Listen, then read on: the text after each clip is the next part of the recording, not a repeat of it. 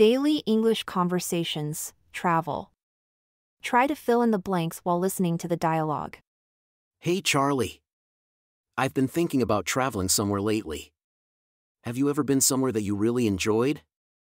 Yeah, I went to Italy two years ago and it was amazing.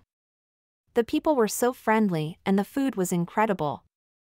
Wow, that sounds like a great experience. How did you get there? I took a plane from the nearest airport. It was about a three hour flight. That's not too bad. I think I might have to look into going there. Definitely. You won't regret it. Listen again to the full conversation. Hey Charlie. I've been thinking about traveling somewhere lately. Have you ever been somewhere that you really enjoyed? Yeah, I went to Italy two years ago and it was amazing. The people were so friendly and the food was incredible.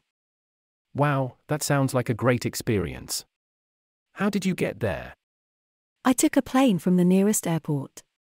It was about a three hour flight. That's not too bad.